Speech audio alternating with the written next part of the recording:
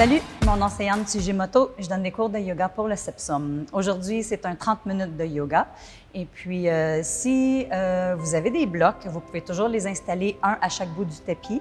Puis, si on n'en a pas, c'est pas plus grave que ça. On peut s'arranger sans ça. Donc, euh, bonne pratique tout le monde. Donc, euh, je vous euh, suggère de vous asseoir confortablement, les jambes croisées. C'est toujours possible de surélever les fesses, de s'asseoir sur un bloc, un coussin, mais euh, on ne sera pas comme ça super longtemps. Fait que juste pour commencer, je vous explique comment on est positionné. Les blocs, on peut les mettre aux deux extrémités.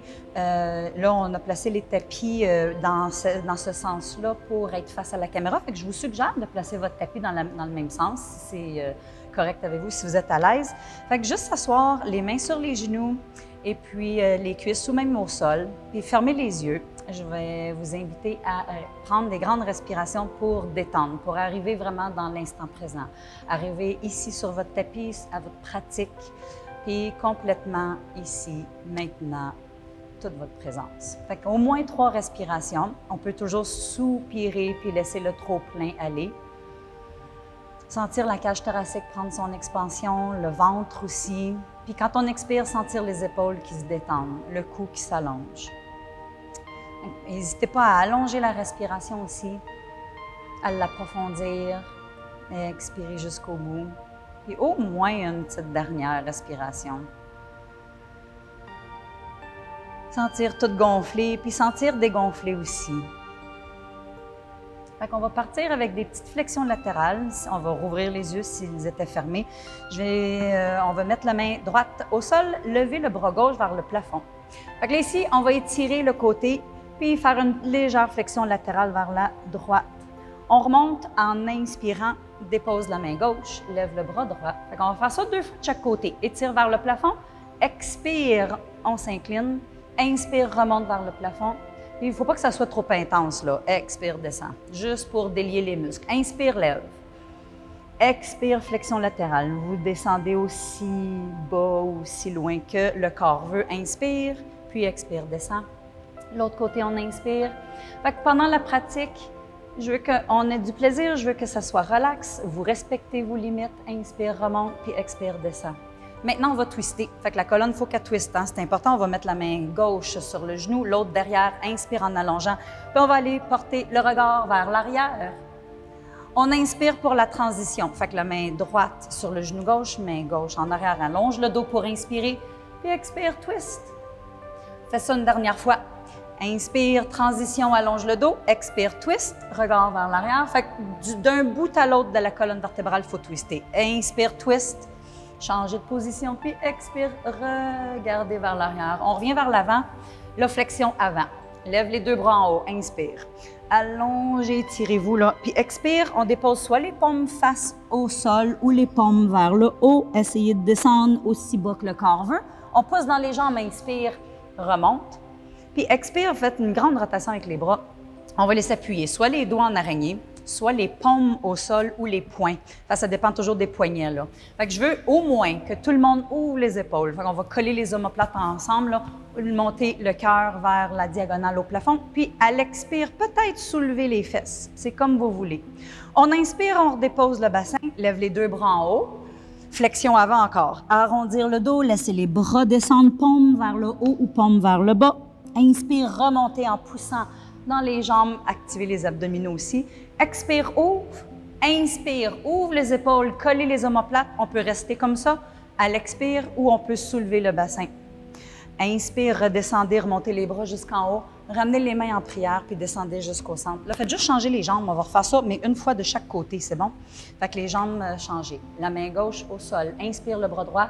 Expire, flexion latérale. Fait que ça change un peu la donne, d'avoir changé les jambes de place. Expire, dépose. Inspire, lève le bras droit, gauche, pardon. Puis expire, descendez, flexion latérale. À l'inspiration, on remonte. Puis expire, descend. Là, twist. La main droite sur le genou gauche. Inspire, le dos s'allonge. Expire, twist. Inspire pour la transition, allonger la colonne vertébrale. Puis on expire, on twist. Inspire, les deux bras s'étirent vers le plafond. Flexion avant. Expire, descend. Expire, expire, expire tout le long. Paume vers le haut, vers le sol. Pousse dans les jambes, on remonte, on inspire. Grande rotation avec les bras. Puis ouvrez la cage thoracique pour inspirer. Expire, peut-être lever les fesses, le bassin. Inspire, redescendre, les mains s'étirent vers le haut, mains en prière, puis descendre jusqu'au cœur. Là, on s'en va à quatre pattes. On va faire une petite transition sur nos quatre pattes. Vous allez descendre les fesses près des talons. Fait qu'on va faire la posture de l'enfant. C'est pas nécessaire d'ouvrir les genoux, là. Je sais que c'est possible, mais on restera pas comme ça longtemps. Fait que les bras bien tendus, la tête entre les bras, peut-être même au sol. On inspire, on s'avance en planche. Pensez à baisser les épaules. Engagez bien les abdominaux, on va descendre les huit points au sol. Fait que poitrine, menton et euh, genoux. On glisse sur le ventre, on inspire pour le cobra, les épaules ouvrent. Puis à l'expiration, on repousse, retournez dans l'enfant. Là, vous pouvez continuer une autre fois comme ça, sinon on accroche les orteils, puis on part du chien tête baissée. Fait inspire, planche, solide, solide. Les épaules sont basses. Huit points au sol, genoux, poitrine, menton. Glisse vers l'avant, inspire pour un cobra, peut-être un peu plus haut. Les épaules doivent être loin, loin des oreilles. Puis expire, accroche les orteils, chien tête baissée. Ça demande un petit peu de force, mais quand même, c'est faisable. Puis c'est agréable. On va déposer en alternant talon droit, talon gauche. Puis juste pour délier, là, puis étirer le derrière des jambes, quelques reprises.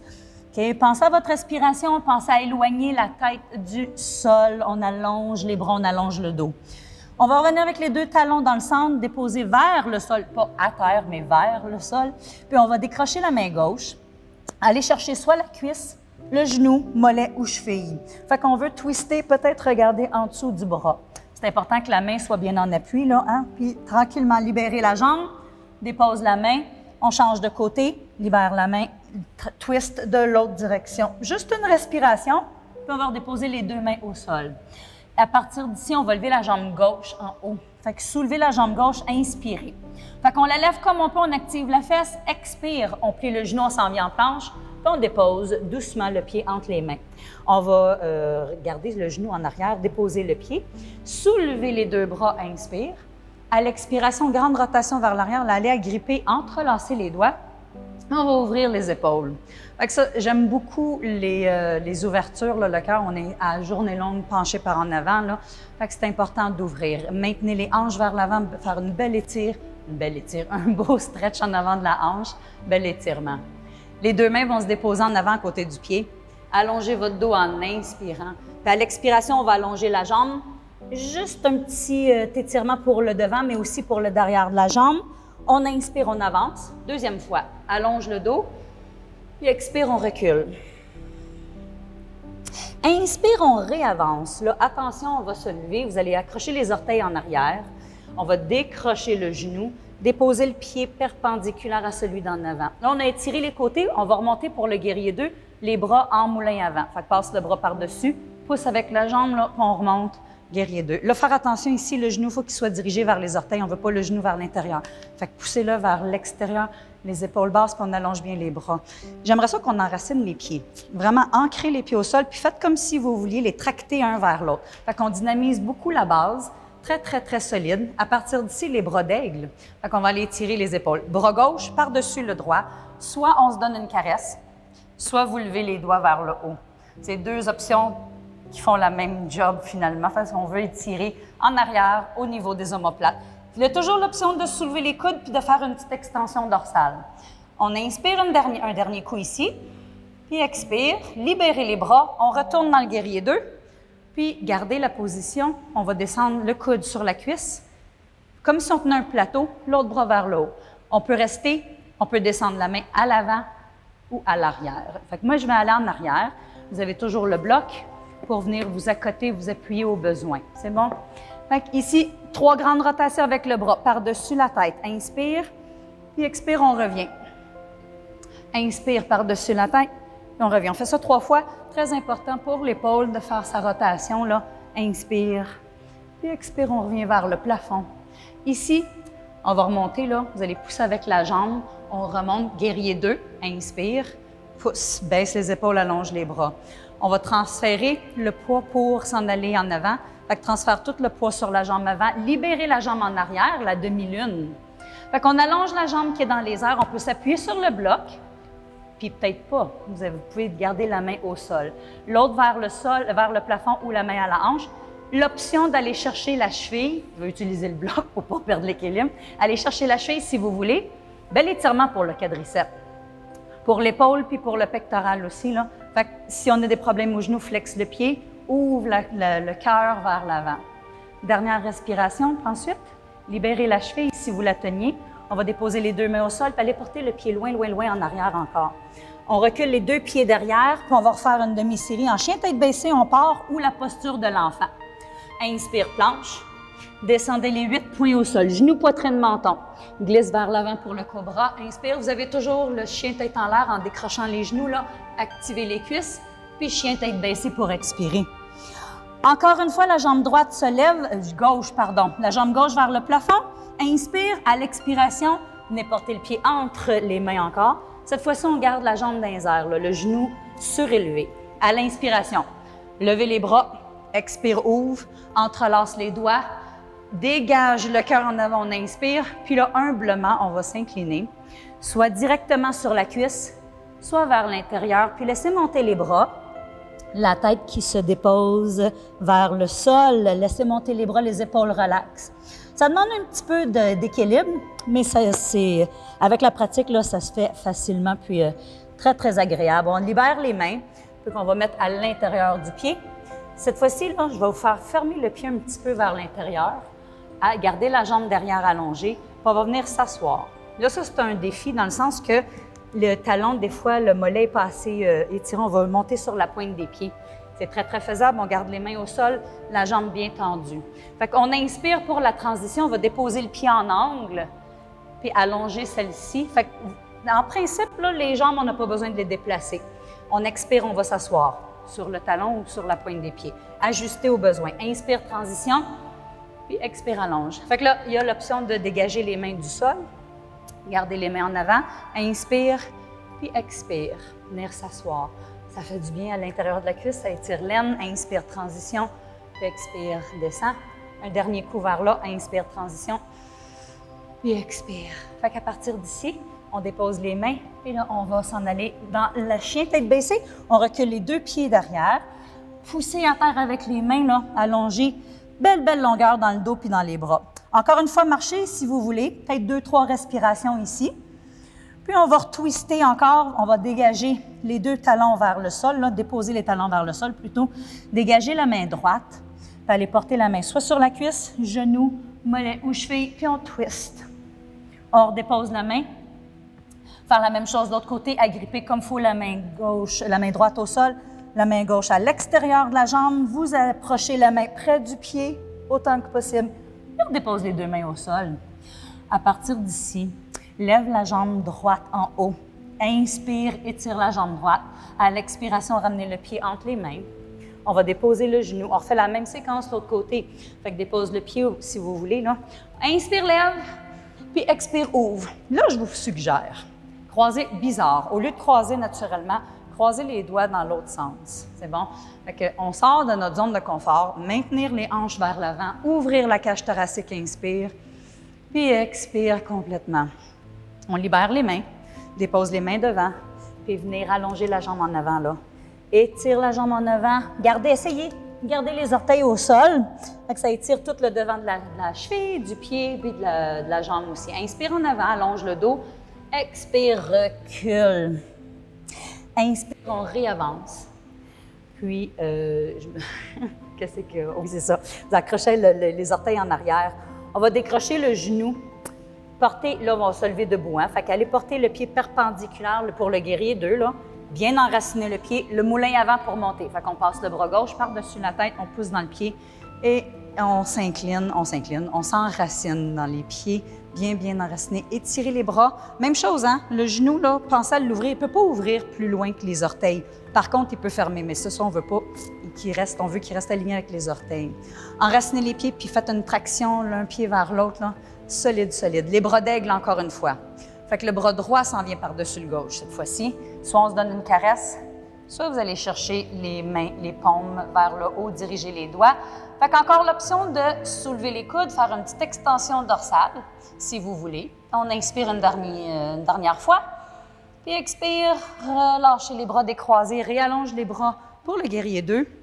Puis la fente latérale, venir vous s'accouder sur la cuisse où on peut rester le bras vers le plafond. Imaginez vous tenez un plateau, Puis encore une fois, on peut déposer la main en avant ou en arrière. Trois rotations avec le bras. Allongez votre bras. On descend, on inspire. Puis on expire pour le retour vers le plafond. Inspire encore. Deuxième.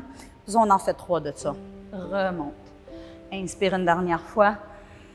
Et expire. On va rester ici. En poussant avec la jambe, on remonte guerrier 2. Étire, étire, étire les deux bras.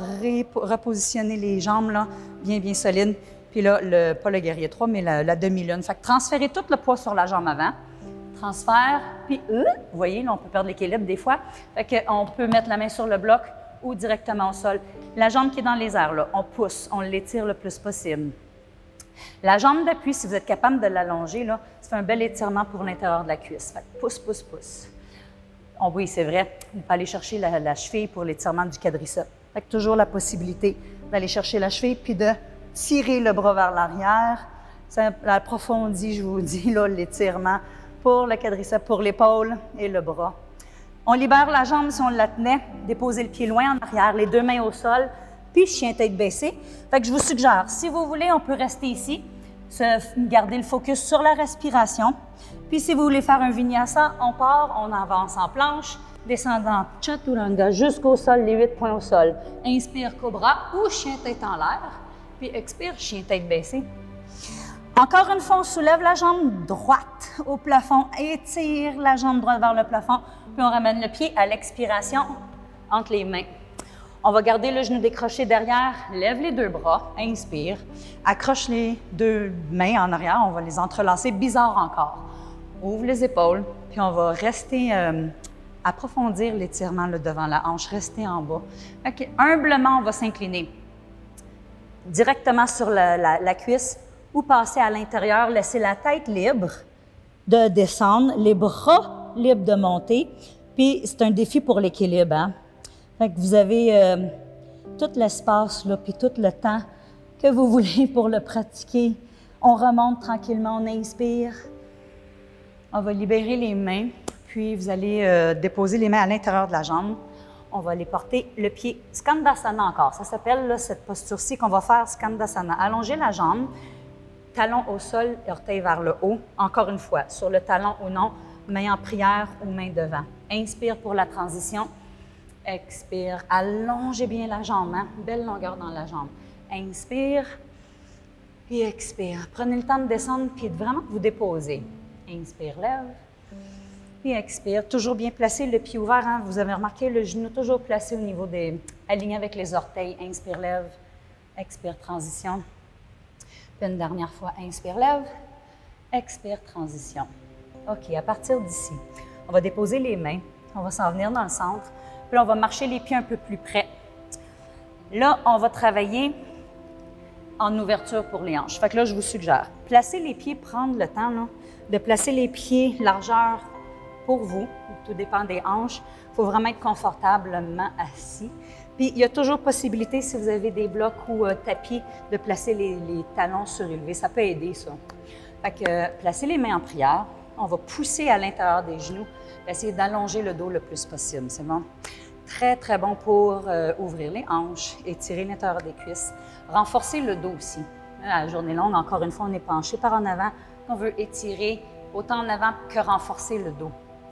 Fait que cette posture-ci, euh, très, très bonne pour ouvrir les hanches, je vous disais. Là. Puis on va transférer le poids sur les mains. Fait que les deux mains au sol, ni trop collées, ni trop larges les doigts. C'est une posture d'équilibre, puis c'est pas forcément... Il faut y aller vraiment tranquillement, là, c'est un transfert de poids. Je veux qu'on force les cuisses, les genoux vers l'intérieur, puis pousser les coudes vers les genoux, vers l'extérieur. Fait une force contre l'autre. Les doigts au sol, décoller les talons, fait que c'est le corbeau, hein? Crow pose. Fait que travailler avec les doigts aussi, tranquillement, on transfère le poids. J'aimerais ça que, je vais vous montrer de côté, là. J'aimerais ça que vous évitiez de donner un coup avec les pieds. Il faut vraiment que ce soit un transfert de poids. Puis aller très, très doucement, toujours avec la force genou contre main, euh, contre coude, pardon. Fait qu'on décroche. Manque quand même un peu de concentration. Fixez-vous un point au sol. Si vous n'êtes pas à l'aise, gardez les orteils quand même au sol, c'est pas grave. Tranquillement, on va redéposer le poids. Je me remets face à vous, là, puis on va rester comme ça. Gardez la force un contre l'autre. On dépose la main encore. L'autre va décrocher. Soit on met la main sur le genou, puis on twist vers le plafond. Donc, il y a une twist. Sinon, on peut allonger le bras soit vers le plafond, soit au niveau que l'épaule va vouloir. Hein. Allonge. Inspire une autre fois. Très bon pour ouvrir les bras aussi. Là. Expire, dépose la main. Fait qu'encore, pousse le coude, le triceps finalement à l'intérieur de la cuisse. Libérez l'autre main, soit sur le genou, soit levé. Étire. Allez chercher le plafond avec le bras pendant qu'on presse l'autre bras contre la jambe. Inspire et expire, déposer les deux mains au sol. OK, partir d'ici, les deux genoux au sol. C'est pas vrai. On va déposer le genou gauche au sol. On va allonger la jambe droite de côté, puis vous allez garder la hanche directement au-dessus du genou. Ça va être important. Quand je fais la barrière, la, gate, souvent je vois les hanches euh, désaxées. Là, fait faut vraiment garder le genou euh, aligné. Euh, si le genou est sensible, n'hésitez pas de plier votre tapis hein, ou mettre un coussin. Le pied bien à plat, aligné avec le genou. on s'incline, ou on va s'incliner sur le côté. Vous allez déposer la main droite sur la cuisse, soulever le bras gauche, aller chercher le plafond, puis laisser glisser la main vers le pied. Euh, vraiment écouter son corps, c'est un très, très profond euh, étirement au niveau latéral. On garde le biceps près de l'oreille. Imaginez vous êtes dos à un mur, fait qu'on peut pas euh, éviter, en fait, de pencher par en avant. Puis on allonge le côté. Fait que prendre une grande inspiration, le sentez les côtes s'ouvrir. On va remonter le bras, puis aller déposer cette main-là au sol. Fait que vous allez voir, là, ça fait comme une table, hein? ça fait comme un carré. C'est correct. On va libérer l'autre jambe. Vous avez toujours le choix de rester, puis sinon, d'aller chercher la cheville. Flex le pied pour les, genoux sensibles. On peut prendre la cheville vers l'intérieur pour vraiment travailler en ouverture. Puis on pousse dans la, main avec la cheville. Pousse, pousse, pousse pour vraiment faire un back bend, vraiment arquer le dos, si le dos veut. Puis étirer tout le pectoral, encore une fois, l'épaule, puis le bicep. on inspire ici. Puis expire, libérer la jambe on va déposer. Là, ce que je vous suggère, on va rentrer le pied, placer l'autre jambe par-dessus. Encore une fois, assis sur un bloc, c'est plus euh, facile pour les genoux. Fait que si je vous le démontre, assis sur un bloc, c'est beaucoup plus euh, confortable, moins stressant pour les genoux aussi. Vous n'avez pas de bloc, c'est pas grave. On ne restera pas comme ça 10 minutes, de toute façon. Fait que c'est juste de sentir l'étirement au niveau des hanches. Belle ouverture pour les hanches encore. On peut toujours s'incliner, tenir les jambes, les chevilles s'incliner. Puis sinon, ça, c'est la posture euh, la tête de vache qu'on appelle. Vous pouvez rester avec le dos droit, puis aller chercher les épaules comme ça. Allez ouvrir les épaules, faites le coude vers le haut, ouvrir les épaules, faire une belle longueur. Faire attention, dans cette posture-là, souvent, je vais voir la fesse qui va soulever.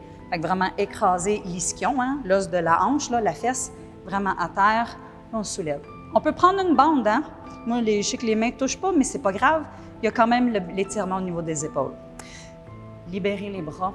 Très belle posture, ça, à pratiquer. Très, très belle posture. Fait que l'autre côté, on va déposer l'autre genou au sol, allonger l'autre jambe, la hanche au-dessus du genou, le pied à plat pour tout étirer le côté, le pied aligné avec le, genou aussi. Main sur la cuisse, soulever le bras à l'inspiration, puis à l'expiration, descendre.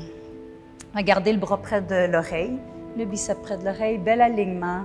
Puis on essaie de garder le dégagement du menton puis du sternum, puis glisser la main le plus loin que vous êtes capable. Dernière respiration ici. Très bel étirement latéral, très profond aussi. On remonte, gardez le genou à sa place, on va aller porter la main sur le côté, puis s'en aller soit sur le bloc, hein, encore une fois, ou le poing, là, puis aller porter la main, aller chercher la cheville plutôt. Flex le pied pour les genoux sensibles, puis tirer sur le bras, sur la, la paume vers l'arrière, la main. On tire pour ouvrir. S'il y a des problèmes de dos, faites juste vraiment tirer le talon vers la fesse. L'autre côté, même chose. Hein? Fait que ça, ça, se peut que le dos ne veuille pas là, aller ouvrir comme ça. Inspire, puis expire. On va dégager la jambe.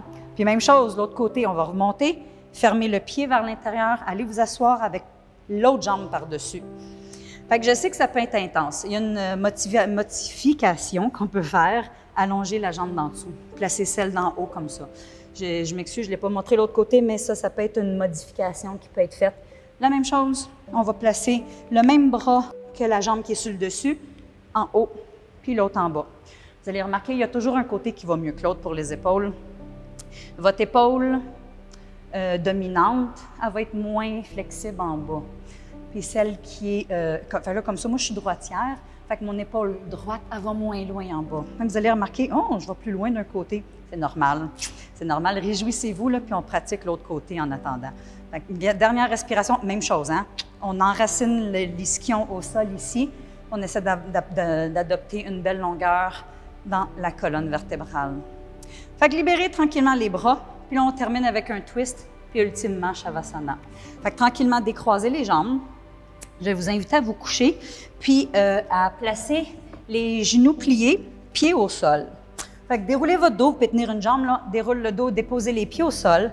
Ce que euh, je vais vous suggérer, c'est de coller les jambes ensemble. On va soulever les fesses, les déplacer vers la gauche. Laissez descendre les genoux vers la droite augmenter l'intensité en soulevant les genoux ou baisser l'intensité en les descendant. On allonge le bras en croix, puis peut-être l'autre aussi. Je suggère toujours le regard à l'opposé des genoux pour aller chercher vraiment toute la twist au niveau de la colonne vertébrale, fait du haut jusqu'en bas. Les deux épaules devraient être le plus près possible du sol, puis essayez là d'apprécier le twist. Les twists, c'est hyper balançant, hyper équilibrant pour le corps, physiquement, euh, énergiquement, mentalement, sur tous les aspects. Essayez de vraiment apprécier, d'approfondir, de vous laisser aller dans les twists. On revient dans le centre avec la tête, les jambes. Au besoin, on replace, c'est sûr. Au besoin, vous tirez les genoux sur la poitrine pour replacer, mais sinon, on recolle les pieds, recolle les genoux, lève les fesses, déplacer à droite. On laisse descendre les genoux vers la gauche cette fois-ci. Bras en croix encore, les deux épaules le plus près possible du sol. Regard à l'opposé, c'est la même chose. Il faut vraiment laisser les jambes relax. Laisser les hanches relax. Laisser le dos, l'abdomen très, très relax aussi. Les bras, puis vraiment apprécier, faire une grande respiration, apprécier la twist. Délier les nœuds dans la colonne vertébrale. Bien, toutes. Peut-être pas toutes, peut-être que oui, mais euh, ça délie des, des nœuds, ça c'est certain, énergétique ou physique. On va revenir dans le centre avec la tête avec les jambes, pour positionner le bassin neutre, puis tirer les genoux contre la poitrine. Là, ça, c'est sûr, je veux qu'on réenligne l'axe de la colonne. Fait que tire les genoux contre soi. Si la colonne est sensible, maintenez le bassin au sol. Là. Quand on lève les genoux, les vents dans le sol. Hein, fait que déjà ça, ça va étirer un petit peu. Puis là, déposez les pieds, puis on va allonger les jambes quand vous allez être prêt et prête. Les jambes un peu plus larges, à peu près la largeur de votre tapis. Shavasana, à ne pas négliger. Hein? C'est important de prendre le temps de se poser avant de repartir. Fait vraiment intégrer les postures, sentir l'intégration des postures. Déposer les jointures au sol, paume vers le haut. Puis toujours, vous avez l'option d'aller chercher l'index au pouce, toucher l'index au pouce.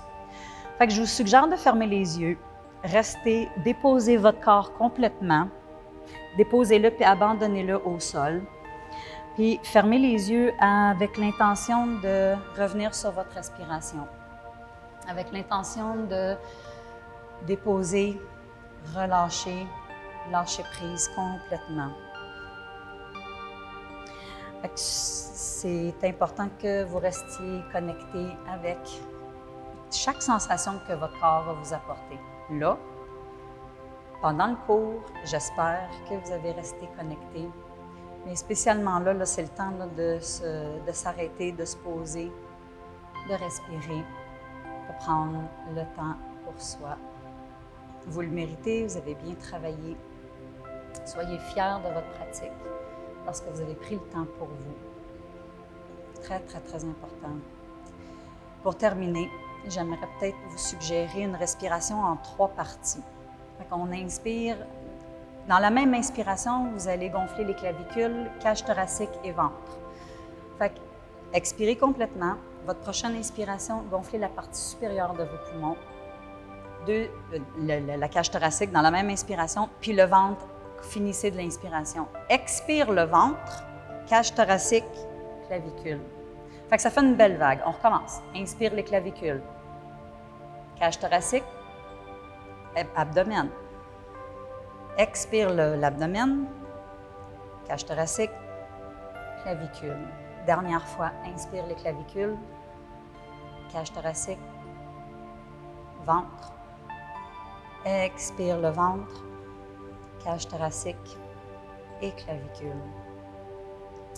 Maintenant, pour se relever, je vais vous suggérer puis proposer de plier les genoux, vous tourner sur le côté, puis vraiment là, venir pousser avec les mains. Je vous le dis là parce que j'ai souvent eu mal au dos, fait que dans cette position-là, ça m'agace moins le dos, c'est moins dur pour le dos. Venir en position assise de nouveau confortable, jambes tendues ou pliées. Amenez les mains en prière devant le cœur, pressez les paumes l'une contre l'autre, les doigts puis les pouces contre le sternum. Baissez humblement la tête. Refermez les yeux juste pour une dernière introspection. Un dernier euh, moment avec soi. Inspirez, puis expirez pour vous remercier. Honorez votre pratique, mais honorez qui vous êtes spécialement. Namasté.